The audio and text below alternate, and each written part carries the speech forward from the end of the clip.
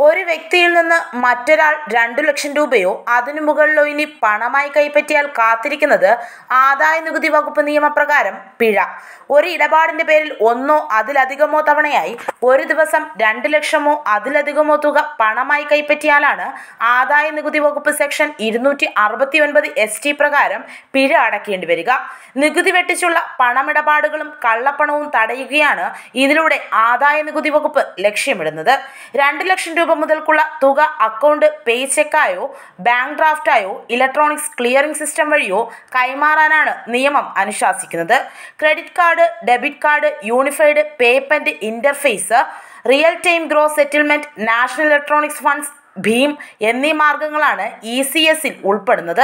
രണ്ട് ലക്ഷം രൂപയോ അതിലധികമോ പണമായി കൈമാറിയതിന് പിടിക്കപ്പെട്ടാൽ സെക്ഷൻ ഇരുന്നൂറ്റി എഴുപത്തി ഒന്ന് ഡി എ പ്രകാരം ആ തുക മുഴുവൻ പിഴയായി അടക്കേണ്ടി വരും.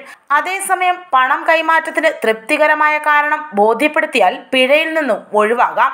ഇവർക്ക് ഇളവുകൾ സർക്കാരുകൾ ബാങ്കിംഗ് സ്ഥാപനങ്ങൾ പോസ്റ്റ് ഓഫീസ് സേവിങ്സ് ബാങ്ക് സഹകരണ ബാങ്ക് എന്നിവയ്ക്ക് ആദായ നികുതി നിയമത്തിലെ സെക്ഷൻ ഇരുന്നൂറ്റി അറുപത്തി ഒൻപത് എസ് ടി ബാധകമല്ല.